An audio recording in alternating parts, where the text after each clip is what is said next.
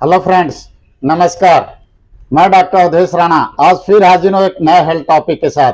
दोस्तों, आज का हमारा टॉपिक है गठिया, यानी कि गाउट आज हम इसके बारे में चर्चा करेंगे और जानेंगे कि इसका होम्योपैथिक इलाज क्या है और यह क्यों होता है और इसके सिम्टम्स क्या हैं। तो दोस्तों, अपने इस टॉपिक को आगे बढ़ाने से पहले मैं अपने इस हेल्थ यूट्यूब चैनल में आप सबका तहे दिल से स्वागत करता हूँ। तो दोस्तों अब अपने इस टॉपिक को आगे बढ़ाते हैं और जानते हैं कि गठिया बाई क्या होती है। गठिया बाई एक हड्डी के जोड़ों के बीच में पाई जाने वाली बीमारी है, जो कि काफ़ी पीड़ादायक होती है। इसको जो है हम थोड़ा सा डिटेल में समझेंगे कि यह गठिया बाई बीमारी होती क्यों है। हमारे शरीर के अंदर, यानी कि कोशिकाओं में जो है, न्यूक्लियस के अंदर जो है आरएनए और डीएनए पाए जाते हैं, जिसके कि अंदर जो है प्यूरिन नामक नाइट्रोजनस बेसिस पाए जाते हैं।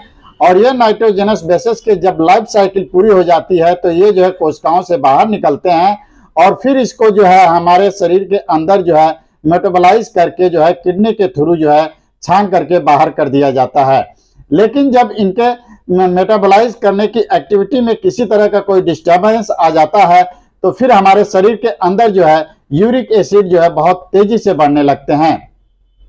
इसके अंतर्गत देखा गया है कि जब ये प्यूरिन हमारे शरीर के अंदर ज़्यादा मात्रा में होने लगते हैं तो इसको जो है हमारे शरीर के अंदर जो है एक मिनरल के कंपाउंड पाए जाते हैं, जिसको कि हम जो है नाइट्रम फास कहते हैं।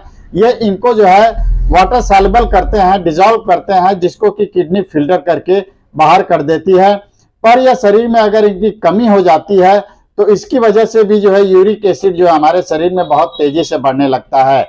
और दूसरा कारण होता है कि अगर इनके मेटाबॉलिक एक्टिविटी में जो है किसी तरह का कोई डिस्टरबेंस आ जाता है तो उसकी वजह से भी जो है हमारे शरीर के अंदर जो है यूरिक एसिड की मात्रा बहुत तेज़ी से बढ़ने लगती है।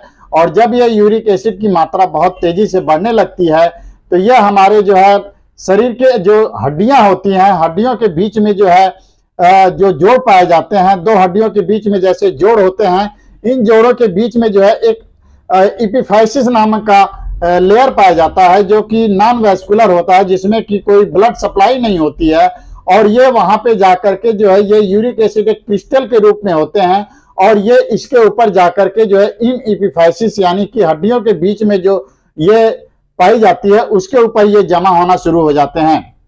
जैसा कि ये क्रिस्टल के रूप में होते हैं, और ये धीरे धीरे जमते रहते हैं, और जमते जमते जो है, ये वहाँ पे एक बहुत बड़ी गांठ बना लेते हैं। और गांठ बनाने के बाद जो है वहाँ पे ये जो है अपने कॉम्प्लिकेशंस जो है क्रिएट करना शुरू कर देते हैं। जिसकी वजह से अगर ये काफ़ी लंबे समय तक होता है तो वहाँ पे जो है उस हड्डी के जो जोड़ है, वहाँ पे जो है तमाम तरह की डिफॉर्मिटी आती हैं और सिम्टम्स आने शुरू हो जाते हैं। उन सिम्टम्स में सबसे पहले देखा जाए तो उस जोड़ पे जो है स्वेलिंग होगी, फिर उसके बाद में वहाँ पे रेडनेस होगी पेन होगा, और फिर उसके बाद में वहाँ पे हल्का हल्का सा गर्म सा आपको एहसास होगा जब आप उसको टच करेंगे।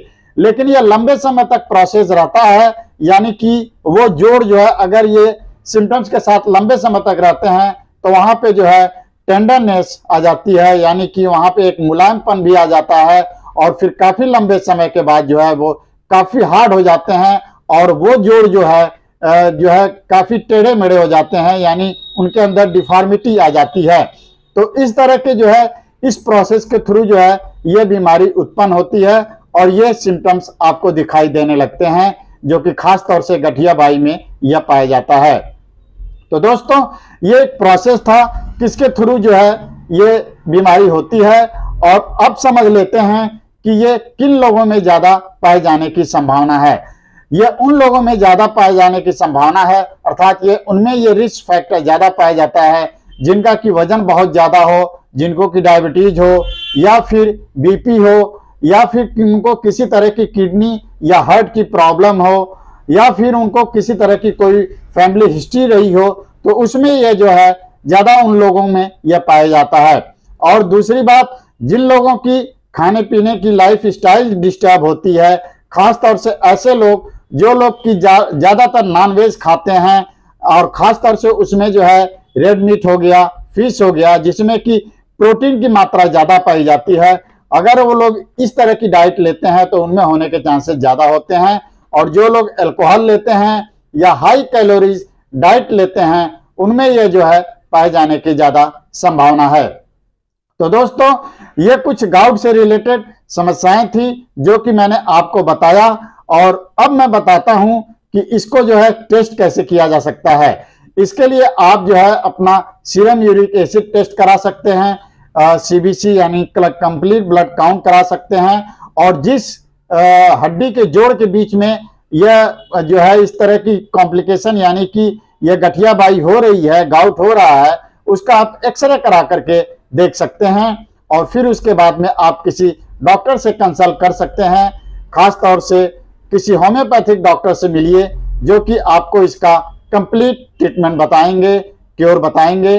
और लास्ट में आप लोगों से मैं इसकी होम्योपैथिक दवाइयाँ क्या होंगी, उसके बारे में चर्चा करता हूँ। तो दोस्तों, होम्योपैथिक दवाइयों के बारे में बात करूँ तो सबसे पहले एक जो मैंने बताया कि एक मिनरल कंपाउंड होता है हमारे शरीर के अंदर, जो कि यूरिक एसिड को जो है वाटर सॉल्युबल कर देता है और वो किडनी को जो है, किडनी जो है उसको फ़िल्टर करके बाहर कर देती है। वो जो है नाइट्रम फास्ट। नाइट्रम फास्ट के नाम से जो होम्योपैथिक में एक मेडिसिन आती है जो यहाँ पे बहुत ही अच्छा कारगर रोल अदा करेगी। इस नाइट्रम फास्ट का जो है सिक्स एक्स की पोटेंसी में जो है, आप जो है चार चार दाने सुबह, दोपहर, शाम लगातार तीन महीने तक लीजिए। और दूसरी दवाई जो आती है अर्टिका यूरिन्स अर्टिका यूरिन्स का मदर टिंचर आपको दस दस बूंद सुबह, दोपहर, शाम तीनों टाइम जो है, आधे कप पानी में डाल करके लेना है। तीसरी दवाई आती है एसिड बेंजोइक का मदर टिंचर एसिड बेंजोइक का मदर टिंचर दस दस बूंद आधे कप पानी में डाल करके आपको सुबह दोपहर शाम तीनों टाइम लेना है। यह दवाइयाँ लेना है और इसके साथ साथ जो है आपको जो है विटामिन डी की एक गोली, जो कि आपको रात को सोते हुए एक गिलास दूध के साथ जो है हफ़्ते में सिर्फ़ एक बार लेना है और यह जो है लगभग ये सारी दवाइयाँ जो है आपको तीन महीने तक लेना है और तीन महीने में आपका जो है कैसा भी गठिया हो, वो बिल्कुल ठीक हो जाएगा। अगर यह फिर भी अगर आपको प्रॉपर रिस्पांस नहीं मिलता है तो आपको किसी डॉक्टर से कंसल्ट करने की ज़रूरत है। तो दोस्तों, गठिया से रिलेटेड ये कुछ इंफॉर्मेशन थी जो मैंने आपको शेयर किया और मुझे पूरी उम्मीद है कि यह इंफॉर्मेशन आपको काफ़ी इंफॉर्मेटिव लगी होगी। जैसा कि हमारे यहाँ लोगों में गठिया बाई, यानी कि गाउट की बीमारी ज़्यादा पाई जाती है, उसमें जो यह लाभ, आपको काफ़ी लाभकारी सिद्ध होगी।